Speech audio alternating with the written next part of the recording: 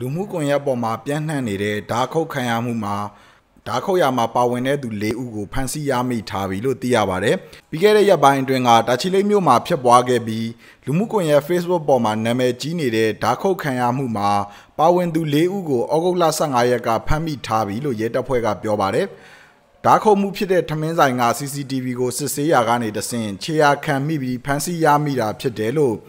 တာချီလိတ်မြို့မှာရဲစခန်းမှုဒူရဲမှုကျော်ထွန်းနိုင်ကပြောပါတယ်သူတို့က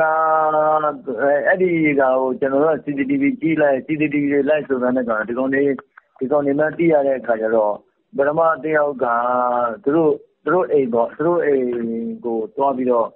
အဲဖမ်းလိုက်တဲ့ခါကျမိရောမိတဲ့ခါကျတော့ရအောင်ပြန်တဲ့ကောင်တွေကဘယ်ဘယ်ဘယ်ဘယ်တော့ဘယ်တော့ဆိုတော့သူတို့အိမ်ကိုလိုက်ပြန်ခိုင်းတဲ့ခါကျတော့အိမ်တွေပါပဲမိလိုက်တာပေါ့ ဓာတ်နဲ့ခုတ်သူတွေဟာအသက်16နှစ်ဝန်းကျင်လူငယ်တွေဖြစ်ပြီးလမ်းမှာစကားများရာကနေမကျေနပ်လို့ဓာတ်နဲ့သွားခုတ်တာလို့မြို့မရဲစခန်းမှုကဖန်စီရမိသူတွေရဲ့ထွက်ဆိုချက်ကိုအခြေခံပြီးပြောပါတယ်လူမှုကွန်ရက် Facebook ပေါ်မှာပြန့်နှံ့နေတဲ့ဗီဒီယိုဖိုင်မှာတော့ဓာတ်နဲ့ခုတ်ခံရသူကရဲတပ်ဖွဲ့ဝင်တွေလုံခြုံရေးဆောင်ရွက်နေတဲ့နေရာကိုရောက်လာပေမဲ့ကိုယ်တိုင်ဆိုင်ကယ်မောင်းနှင်ခိုင်းပြီးစေယုံကိုတွားခိုင်းတဲ့အပေါ်